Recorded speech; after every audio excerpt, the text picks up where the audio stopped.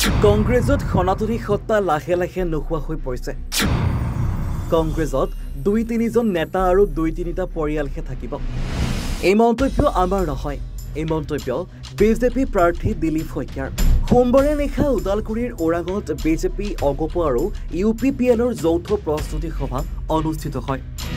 সভাত দিলীপ শইকীয়াই কংগ্ৰেছ নেতা গৌৰৱ গগৈক আক্ৰমণৰ লক্ষ্য কৰি লয় গৌৰৱ গগৈয়ে লোকসভা নিৰ্বাচন বিজেপিৰ পৰিৱৰ্তে কংগ্ৰেছ এ টিম আৰু বি টিমৰ সৈতে মূল যুঁজখন হ'ব বুলি মন্তব্য কৰাৰ পাছতে গৌৰৱ গগৈৰ বিৰুদ্ধে মন্তব্য দিলীপ শইকীয়াৰ। প্ৰথমে গৌৰৱ গগৈয়ে স্পষ্ট কৰক তেওঁ কংগ্ৰেছৰ কোনটো টীমৰ সৈতে আছে। কংগ্ৰেছ দলটোক ক্ৰিকেট খেলৰ ষ্টাম্পৰ সৈতে তুলনা শইকীয়াৰ। আগবেলা গৌৰৱ গগৈৰ হৈ প্ৰচাৰ চলোৱা মানস বৰাই সন্ধিয়া বিজেপি দলত যোগদান কৰিলে। কংগ্ৰেছৰ ষ্টাম্পৰ অৱস্থাই নাই বুলি তীব্ৰ কটাক্ষ দিলীপ শইকীয়াৰ। ইফালে বিজেপিক ভোট দিয়াজন জাতিদ্ৰোহী মহাপতি বুলি মন্তব্য কৰা বি পি এফ প্ৰাৰ্থী দুৰ্গা দাস বড়োক প্ৰত্যুত্তৰ দিলীপ শইকীয়াৰ। দুৰ্গা দাস বড়োক দল বাগৰা নেতা আখ্যা বিজেপি প্ৰাৰ্থীগৰাকীৰ। দুৰ্গা দাস বড়োক নিষ্পাপী হৈ থকাৰ শুভেচ্ছাও জ্ঞাপন কৰিলে দিলীপ শইকীয়াই।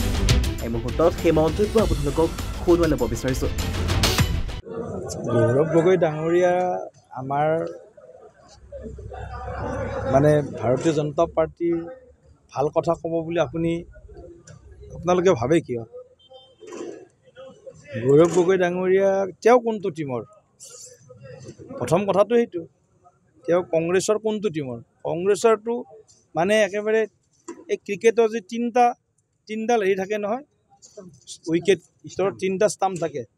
কোনটো তেওঁ মাজৰ ডালৰ নে লগত আছে নে ছাইডৰ ডালৰ লগত আছে না কাষৰ আৰু ইফালৰ ৰাইট ছাইডৰ ডালৰ তেওঁ নিজে কওক।